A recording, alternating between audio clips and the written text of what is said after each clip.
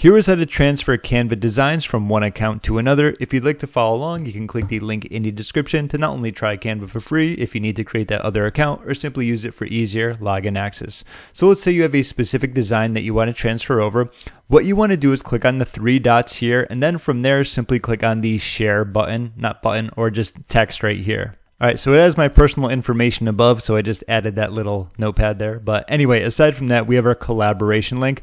With this, we want to do anyone with the link, and of course, anyone can edit. So what I want to do is copy this link, which I'm going to do right now. Okay, now that I'm just in a new browser, I have another account too that I have, just a smaller one. And what I'm going to do, I put it in there. I'm just going to simply hit enter.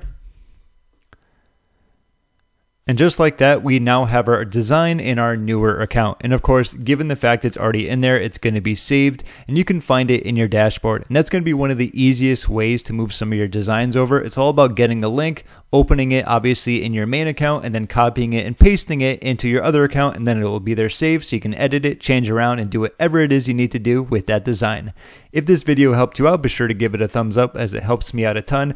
And if you made it to the end, a virtual high five for you. I will leave a link for a free gift in the description that can help with building and growing your digital business. My name is James. Thank you so much for watching and I'll see you in my next video.